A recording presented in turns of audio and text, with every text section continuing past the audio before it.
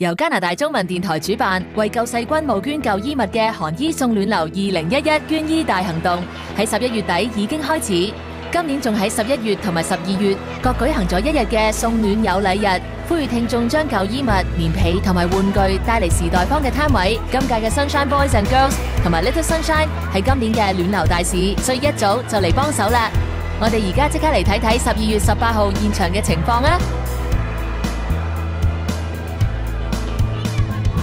佢哋好似玩得好开心，其实佢哋工作起嚟都好落力噶。大嘅 Sunshine 就会负责整理衣物、磅重、打包；